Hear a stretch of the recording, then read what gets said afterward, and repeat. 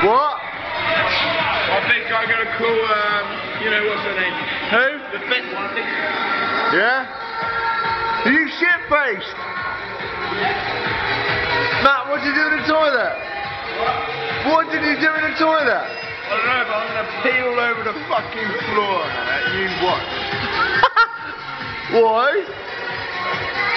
Because the bog is too hard to aim.